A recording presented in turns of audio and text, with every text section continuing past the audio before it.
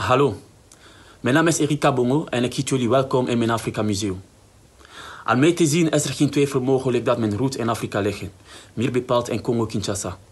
Ook de reden waarom ik deelneem aan dit project. Voor mijn Afrika Museum heb ik gekozen voor een klok als kunstwerk. Dit omdat voor mij een klok symboliseert een instrument voor een wake-up call. Tot op onze dagen van vandaag wordt het gebruikt in de kerk om een gebedstijd aan te geven.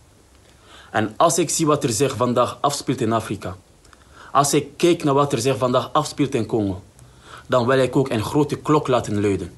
Om aan te geven dat het tijd is voor Afrika vooruit te gaan. Bij deze hoop ik dat ik die klok in jullie hoofd heb laten luiden. En dat we morgen ook effectief die Afrika mogen zien vooruitgaan. Dankjewel.